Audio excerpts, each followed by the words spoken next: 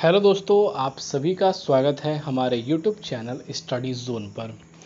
दोस्तों एनएचएम यानी कि यूपी एन की तरफ़ से, यानी कि राष्ट्रीय स्वास्थ्य मिशन की तरफ़ से आप सभी के लिए एक बहुत ही इम्पोर्टेंट नोटिस जारी किया गया है। यानी कि यह जो आदेश है आप सभी के लिए, यहाँ पर जो है कार्यालय से इस आदेश यहाँ पर जारी किया गया है। और संविदा कर्मियों के लिए यह काफ़ी ज़्यादा इम्पोर्टेंट आदेश है। और इस आदेश में क्या बातें कही गई हैं और इस आदेश को, इस नोटिस को क्यों कार्यालय द्वारा जारी किया गया है, उसके बारे में सारी इन्फॉर्मेशन मैं आप सभी को देने वाला हूँ। इस नोटिस का लिंक आप सभी को हमारे टेलीग्राम चैनल स्टडी जोन पर मिल जाएगा। वहाँ से जाकर इस नोटिस को पूरे तरह से डाउनलोड कर कर रीड भी कर सकते हैं।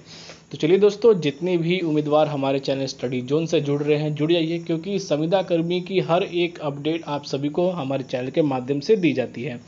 तो सबसे पहले दोस्तों, यहाँ पर आप देते हैं कि यह जो नोटिस जो कार्यालय से पब्लिश की गई है, यानी कि जारी की गई है, वो 20 नौ 2024 को जारी की गई है।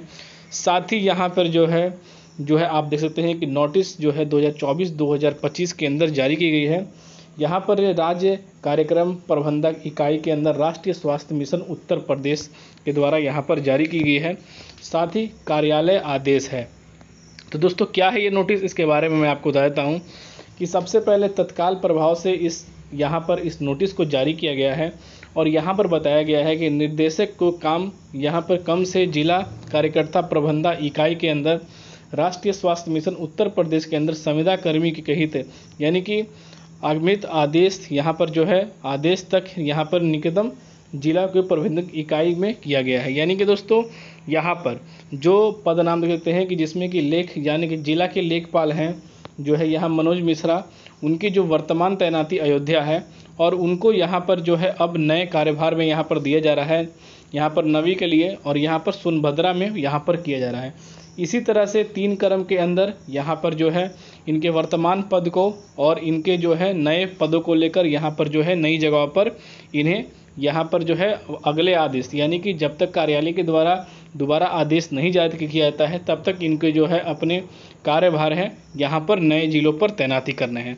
जिसमें कि देख सकते हैं कि बताया जाता है, तत्काल प्रभाव से पूर्व प्रबंधन कार्यालय स्वर यहाँ पर जो है जब संख्या यहाँ पर देते हैं कि निर्देशक यहाँ पर जो है आप देखते हैं कि क्या है साथ ही यहाँ पर अगर आप देखते हैं तो बताया जा रहा है कि तत्काल प्रभाव से अपने यहाँ पर जो है सबद कार्यालय की जनपद में जिला, यहाँ पर जो है, जिला जाटा को कम लेखक सहायक के लिए, फाइनल के लिए यहाँ पर इस नोटिस को जारी किया गया है।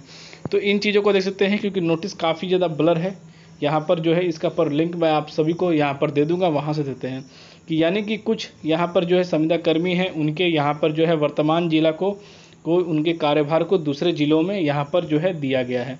तो इन चीज़ों को यहाँ पर देख लीजिए और इसका लिंक आप सभी को हमारे चैनल के टेलीग्राम चैनल पर मिल जाएगा।